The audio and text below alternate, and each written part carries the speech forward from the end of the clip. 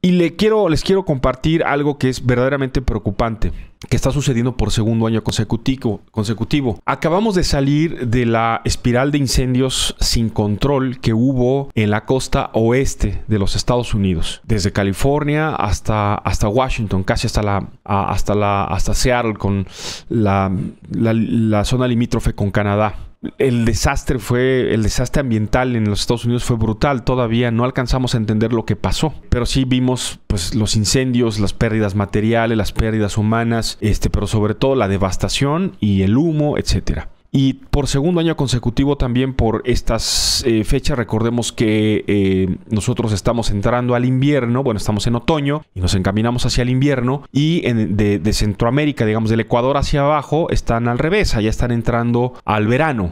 Este, están eh, pasando, transitando de la primavera al verano y hay mucho calor.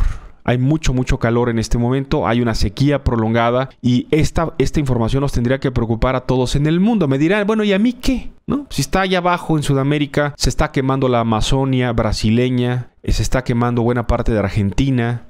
Estoy hablando de sus bosques, ¿eh? de sus zonas arboladas. Paraguay, Bolivia. Sudamérica está en este momento literalmente bajo fuego, ¿eh? Hay zonas extensas de Sudamérica. Argentina es un caso dramático en las últimas semanas, en los últimos días, el pasado fin de semana. Y de manera preocupante también se están registrando ya los primeros incendios fuertes en la Amazonia y en el Pantanal brasileño.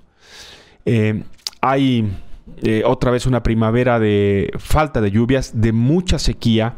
Esto ha convertido en el año más eh, seco. En los últimos 47 años Brasil ha registrado su año más seco. Y esto suma, se suma al recorte, fíjense, Brasil se quedó sin dinero porque Jair Bolsonaro, a ver si le suena familiar, eliminó los fondos que había para el combate a incendios forestales en Brasil cuando empezó su gobierno. Porque dijo que era una farsa, que además de que había corrupción, que era una farsa eso del combate a los incendios forestales, que era una forma, dijo, de inventarse supuestos incendios para robarse el dinero y los canceló. Entonces ahora pues este no hay dinero para el combate y hay además una... Eh, una, se, anularon, se, se, eliminaron las multas que había para las empresas que realizaban quemas de las zonas boscosas para fines agrícolas. Porque dice también el presidente Jair Bolsonaro que necesitan seguir produciendo ganado para la economía, para echar a andar la economía y que es una farsa esto de que este, esa práctica va a acabar con la Amazonia, ¿no? Que es una, una, este, en, un embate de sus enemigos políticos. Me suena familiar, pero bueno, este, vamos al tema. Eh, es muy delicado lo que está pasando en la zona, porque es esta, quizá lo entenderíamos si lográramos asimilar que la Amazonas, toda la zona de Amazonas en Sudamérica, que es el corazón de Sudamérica, es una especie de regulador de, regulador de temperatura en el mundo.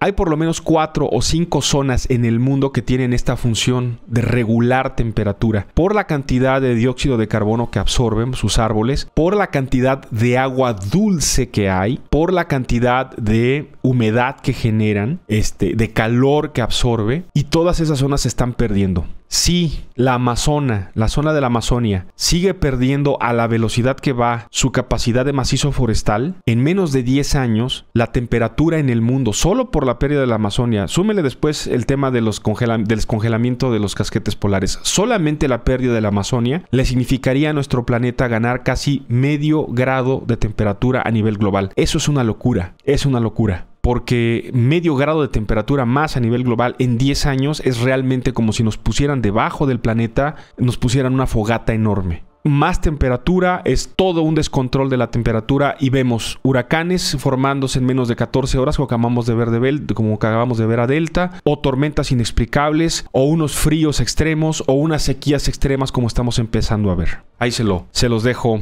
como, reflexión, no es algo que nos esté lejano. ¿eh? A los amigos de Uruapan, de Chiapas, de Oaxaca, que viven de cerca los incendios forestales, sabemos, saben de lo que estamos hablando y de la importancia que tiene recuperar los fondos, pero sobre todo trabajar con mucha prevención y con mucho tiempo de anticipación en los programas preventivos, todo lo que se pueda hacer, todo lo que se pueda hacer para evitar que nuestros bosques se sigan quemando, por lo menos lo que en México nos toca.